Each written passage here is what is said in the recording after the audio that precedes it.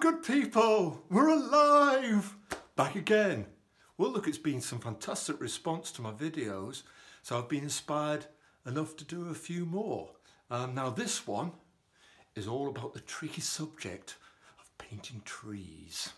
Now, we have one particular iconic tree in Northumberland um, known as Sycamore Gap and uh, made famous by um, Hadrian, um, Hadrian Robin Hood, wasn't it? Hadrian Hood, that's right. Um, so anyway, we are going to uh, show you some fantastic techniques that are unusual. It'll actually show you that we can actually paint trees and things without brushes. In fact, painting trees with a brush is incredibly tricky. And so what I suggest is you try painting a tree with a piece of wood. What I'm going to show you here is a very cheap brush, a kind of brush you'd get from a children's painting set, made of bristle. But on the back, here, I've cut a little chisel out of it. Can you see that? Just about 45 degrees like that. The other thing I've got is a hake brush. We've seen this before in my last demo. If you haven't got a hake brush, you could go and grab Grandpa's shaving stick. Um, I've got a mixing brush, cheap little mixing brush or bristle brush again. And I've got a postcard. And I've got a palette knife. If you haven't got a palette knife, you could always swipe your misused credit card since none of us are spending anything anymore. Right, so here we go. Now we showed you the mixing process before. Now it's always very important that you pre-mix your colours and you stretch your paper. So I've got two colours. I've got sepia and I've got, oh sorry, three colours, correction. I've got a blue, a dark blue, and I've got crimson, and I've got sepia here. And this is where we're going to be just working with what we call a monotone. So I'm going to start off with the process again, as before in the last video. So quickly, clean water, a few drops,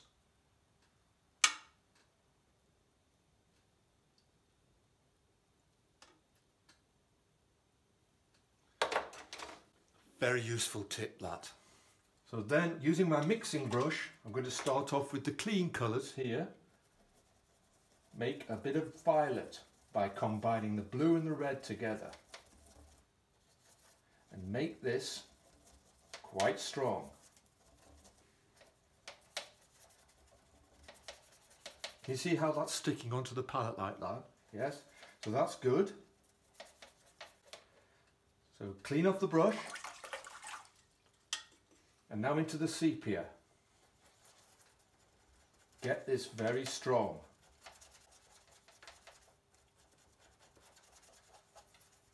Very like ink, very strong inky consistency. Good.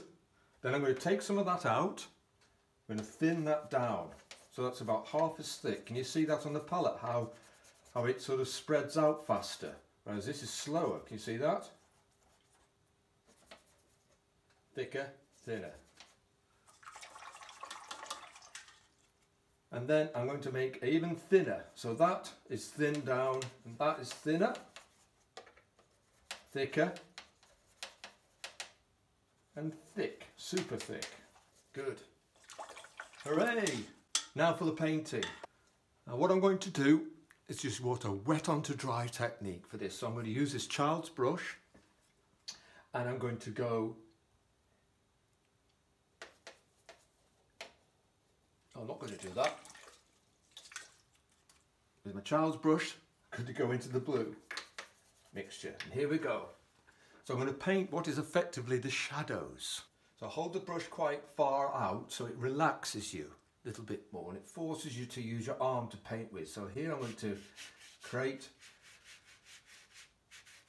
like this, a shape a bit like that.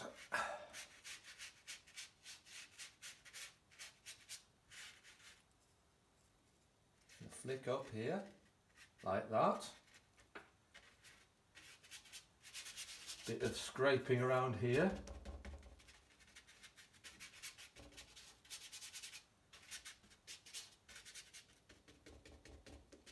Jolly good. Now with that done, I'm now going to go into my thinner paint. This is the thick, thinner and really thin. And then go over that loosely.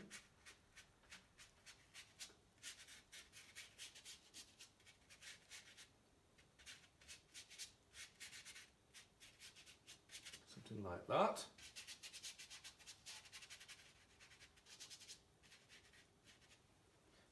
Now the thick paint's going to go in.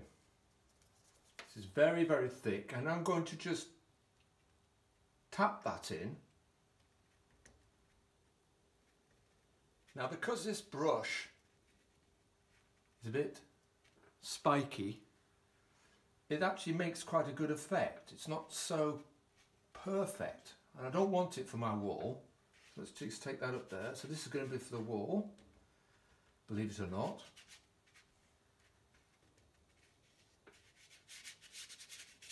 stick this about. Right, so now just wait a few seconds for this. It's important just to let that dry off a little bit, not too dry. Just let it settle. So it just needs a bit of magic putting over it now.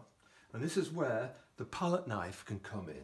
I use this one, it's called a, it's a teardrop shaped palette knife. Now you haven't got a palette knife, I said before, a plastic greeting, um, credit card or something like that. So, here we go. Just using the edge, I'm going to keep these horizontal but step them up.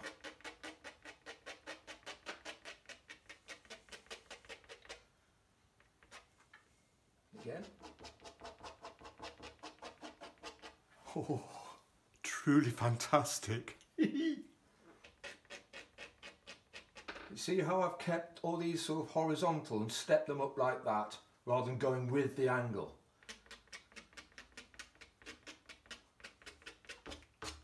So, jolly good. So now it's time to let that dry off. Now I would normally let it dry off in its own time because it spoils the effect if you use a hairdryer. But we'll get the old Buffon out, Buffon machine, and give it a quick blast. That'll do. Okay, now for some skies. Now people keep asking me about skies. Now remember, now Dunstan picture, Dunstanburgh picture, did a sort of very lively, atmospheric, stormy sky. Well, we'll continue with that, I think. So I'll put that onto here.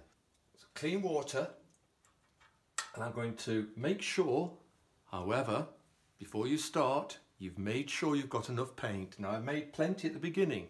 I made plenty of thick, thinner, and very thin, and I've got the cutler blue and the red mixed together as well.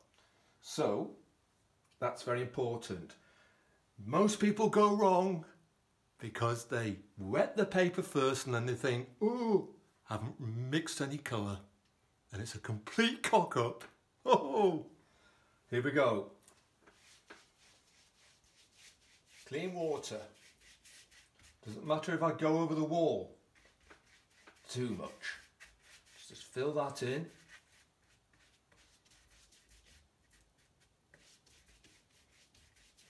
Make sure it's nicely wetted. So here we go with my child's brush into the medium paint. Here we go. Nice stormy sky. Now just be gentle with it using the edge. You see how I'm just almost tickling the surface? Probably do. Now for the thick. See, I, I put that little zigzag in and almost I'm pointing in with my brush, almost imagining like I'm throwing a dart, a dart into it to give it perspective. Take your eye into the centre of interest, which is going to be our tree. So here again, the thick stuff. See, it's so much easier than the paint's pre-mixed. Uh, here it goes down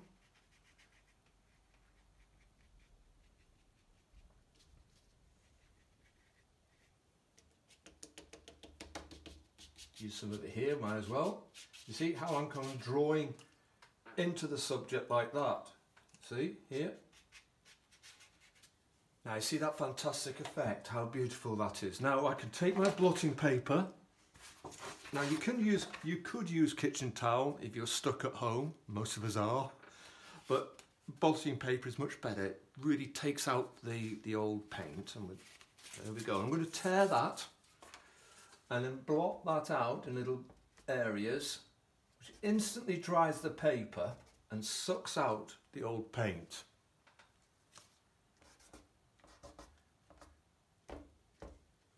Now I'm tempted to paint in the White Cliffs of Dover. But I can assure you they are not there. When you climb over the other side of that hill, the White Cliffs of Dover are not there. Hollywood seems to think they are, but they're not. Now, other thing is, I did mention I've stretched my paper and I'm using this fantastic Keebler Artmate paper stretcher. If you haven't got a Keebler Artmate, bad luck! But you could just stretch it onto some board, pin it down, with gum strip, not masking tape. If you haven't got gum strip, then don't stretch your paper, but you will find it difficult. So it's really worth stretching the paper up properly. So you've got this control. Otherwise the paper buckles and lumps up and imagine all this paint would then run in and out of all those nooks and crannies. So now I've got to let that dry off. Again, I would let that dry off naturally. Otherwise, it will spoil the effect if I use a hairdryer.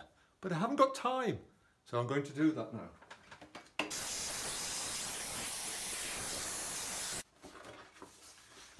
Okay, now what I've got is my tree. Now this is a skeleton of the tree that I'm going to be painting.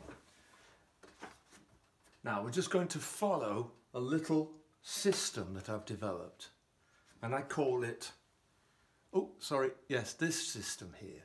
So you've got your first finger, you've got your second finger. Normally, when I do these demonstrations, the whole of the audience have left the room by this stage. No, but anyway, no, you've got this. It's the angle. You've got your main tree and the branches coming off. So here we go. So this is where we've got the tip of my brush here.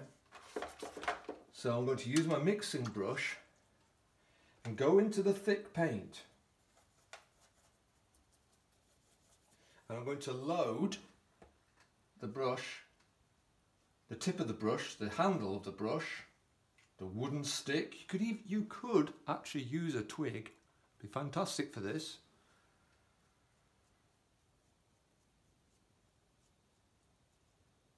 And then I'm going to make a little puddle on here. So carefully, I'm going to hold the brush handle like this and I'm going to go in the direction of the main branch. Here it goes. Very lightly and as it gets thinner I start to turn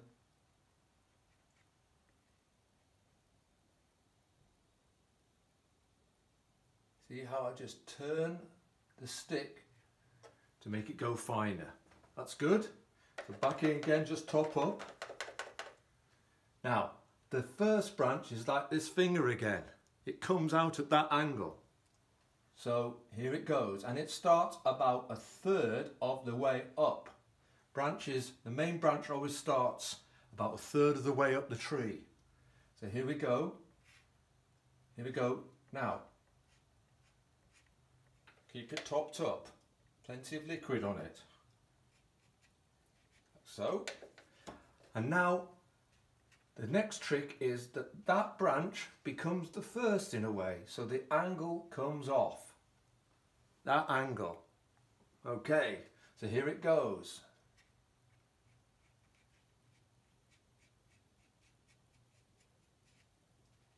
So I'm just turning the brush as I paint to make it go thinner can always put a bit of water into this and it'll follow like a river down the colour.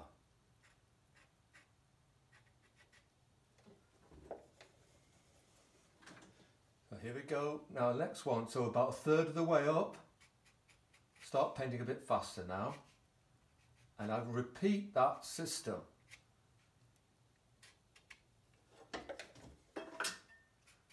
Now, the important thing is to get the proportion right.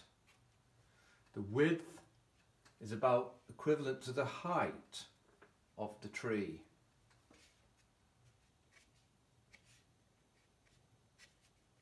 So you can repeat this technique.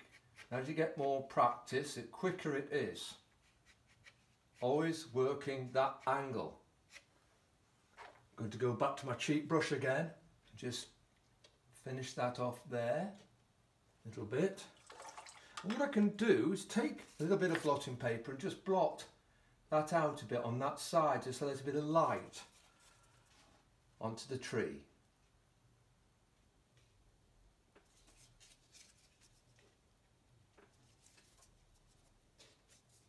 Now, for a fantastic technique. Now, here's the postcard. What you want is a piece of card that's slightly shiny, you see, like that. So it's nice and waxy. I'm going to tear that in a slight curve, like that. And now I can come back to my thick paint and paint this on, like that. Now it doesn't stick to the paper very well at all, and you want that, you see. You want it to sort of create little phantoms, shapes like that.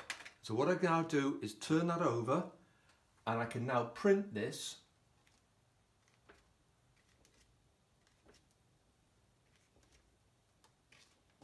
This is called monoprinting. Just keep going until you get the desired effect.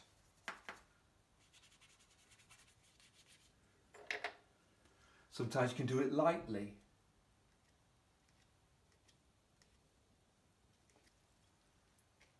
That's a bit thick there, so I'm just going to water that down and blot that off.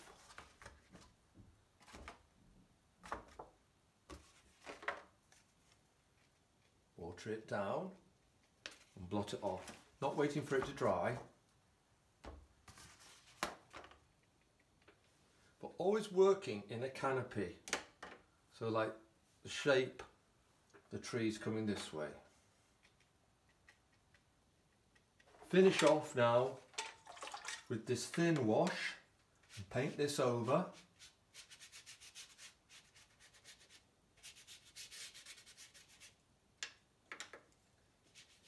Always think about leading the eye in. No matter where you are, where is the eye taking you to in the painting?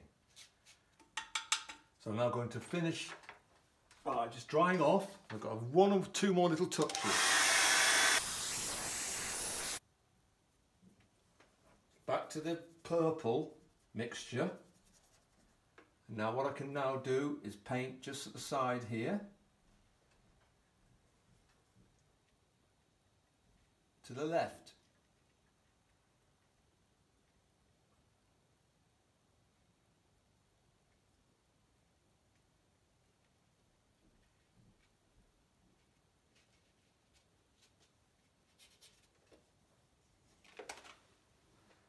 Have a go, it's great fun. Bye.